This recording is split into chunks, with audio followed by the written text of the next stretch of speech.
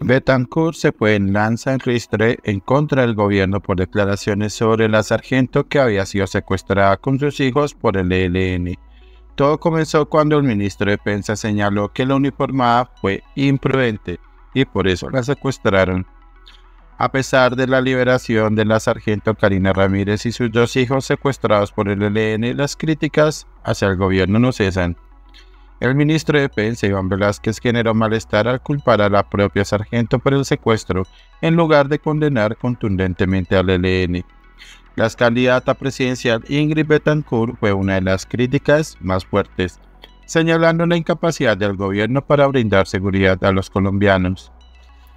Desde el Partido Liberal también se acusó al ministro Velázquez de revictimizar a los secuestrados. El representante liberal Julián Peinado calificó las declaraciones del ministro como ridículas e indolentes, afirmando que demuestran la incapacidad del gobierno para proteger a los ciudadanos y privilegiar a los criminales en lugar de garantizar sus derechos. Otra vez echándole la culpa a las víctimas, ¿no se les cae la cara de vergüenza? ¿Por qué más bien no dice que han sido incapaces de darle seguridad a los colombianos y que ni siquiera los miembros del ejército pueden salir? Dijo la política en su cuenta de Twitter. La sargento Karina Ramírez y sus hijos fueron secuestrados cuando se dirigían hacia el municipio de Portul en Arauca. Después de cuatro días de cautiverio, el ELN decidió liberarlos acatando las órdenes del cese al fuego.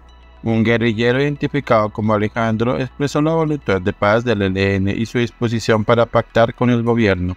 El defensor del pueblo, Carlos Camargo, hizo un llamado a los grupos armados para que no involucren a menores en acciones violentas. Gustavo Petro firmó el decreto que ordena la suspensión de operaciones militares contra el ELN. Durante el miércoles 5 de julio, el presidente Gustavo Petro firmó el decreto 1117, con el que ordenó la suspensión de operaciones militares y de policía contra el ELN a partir de la medianoche del jueves 3 de agosto hasta las 0 horas del lunes 29 de enero de 2024. La normativa expedida por el Ministerio de Defensa y firmada por el jefe de Estado se conoció horas antes del alistamiento ordenado por el Comando Central COSE de esta guerrilla a todos sus frentes y estructuras como parte del cumplimiento del cese al fuego bilateral acordado en La Habana.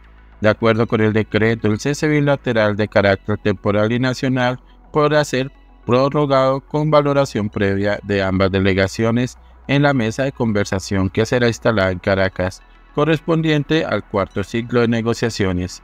Asimismo, se tendrá en cuenta para esto la documentación que entregue el mecanismo de monitoreo y verificación conforme a lo acordado en las partes. El artículo 2 del decreto ordena la suspensión de las operaciones de la fuerza pública a partir de las 0 horas del jueves 6 de julio de 2023 contra los integrantes del ELN que hagan parte de las negociaciones de paz y se encuentre dentro de los procedimientos para la ejecución del acuerdo del cese al fuego bilateral y los protocolos.